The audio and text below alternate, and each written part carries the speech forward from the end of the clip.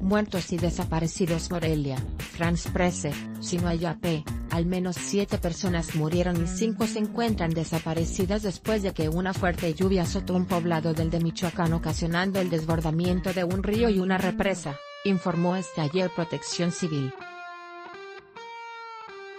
El jefe del Departamento Operativo de Protección Civil Estatal, Eloy Girón, actualizó ayer el número de fallecidos, y dijo que aunque las labores de búsqueda continuaban, cada vez hay menos esperanzas de localizar con vida a los desaparecidos, entre los que hay tres menores.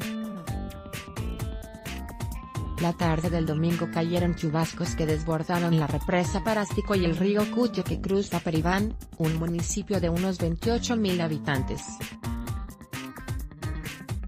Nos tomó por sorpresa la lluvia, no más se vino la creciente y se lo llevó todo. Queremos que las autoridades nos ayuden porque no tenemos donde vivir, se acabaron las cosas, todo lo que teníamos, dijo María de Los Ángeles, una ama de casa de 62 años.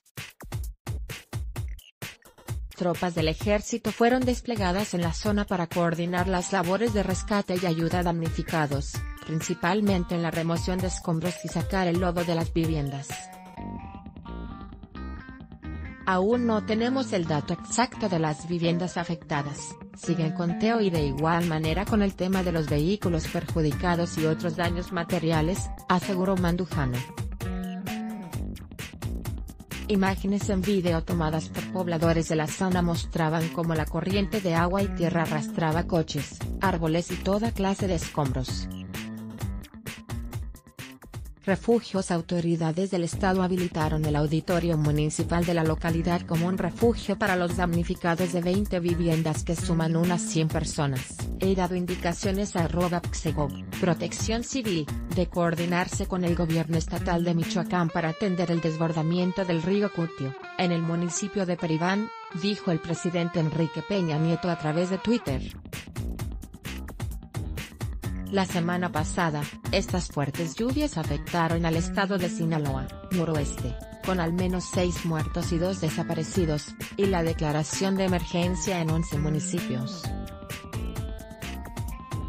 Ayer fue encontrado en avanzado estado de descomposición el cuerpo de Andrea del Rosario González Díaz, de 28 años madre de tres hijos quien junto con otras dos mujeres estaba desaparecida. Andrea y una mujer de nombre Carmen Cecilia, de 45 años, fueron arrastradas por la corriente del arroyo del Piojo en Culiacán, cuando el jueves pasado trataban de rescatar a una señora llamada Rosa, de 85 años.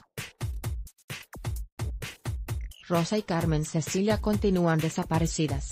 Las severas inundaciones ocasionaron que numerosas localidades, y la comunidad del Limón de los Ramos quedaran incomunicadas. Plan de emergencia por lo anterior, personal militar aplica el plan de N13 de auxilio a la población en los municipios de Ahome, El Fuerte, Salvador, Alvarado, Mocorito y Culiacán. En tanto, la Secretaría de Educación Pública, septiembre, de México ordenó suspender las clases este jueves, y mañana viernes en las comunidades devastadas por las lluvias torrenciales. Ante este panorama, la Secretaría de Gobernación emitió una declaratoria de emergencia para 11 de los 18 municipios de la entidad por los daños severos derivados del paso de la tormenta tropical 19E. De acuerdo con el Servicio Meteorológico Nacional, las tormentas puntuales torrenciales en el norte, y el centro de Sinaloa continuarán en las próximas horas, por lo que se exhortó a la población a extremar precauciones. Según la Zagarpa, en Sinaloa hay 15.000 hectáreas de cultivos agrícolas con pérdida total, y 1.920 hectáreas con siniestro parcial. Las afectaciones son consecuencia de las elevadas precipitaciones fluviales que dejó en días pasados el paso de la depresión tropical 19E, señaló la dependencia federal en un comunicado.